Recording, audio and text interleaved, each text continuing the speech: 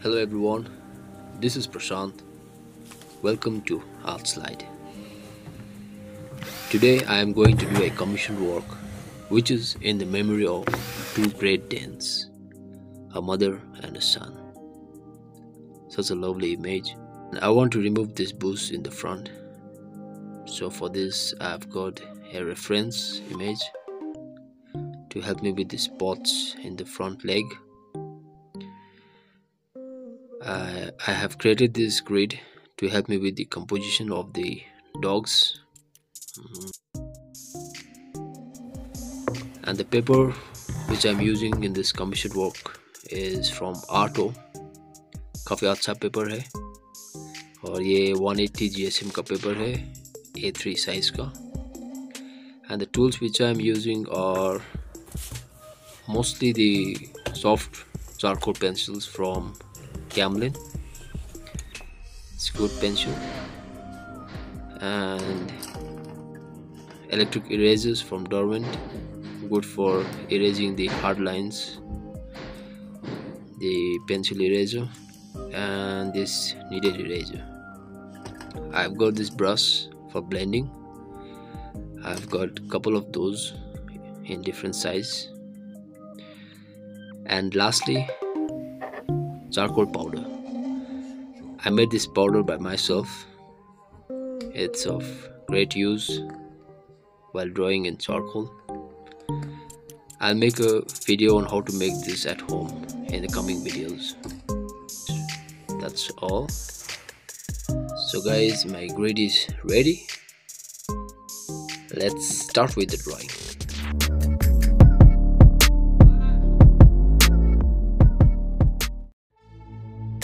here. I am just blocking in the image just to make sure that it's in the right place followed by uh, marking the dark and the light side and then adding the details at the end. This is how I like to do my artwork. So enjoy the time lapse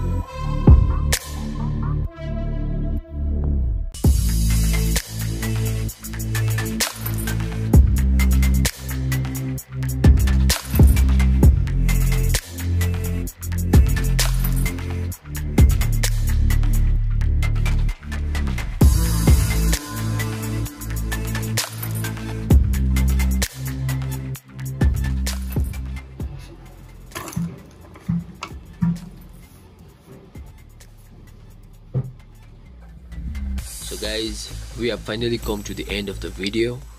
Thank you so much for watching till the end. And do leave your thoughts in the comment section below. See you in the next video. Till then take care. Have a great day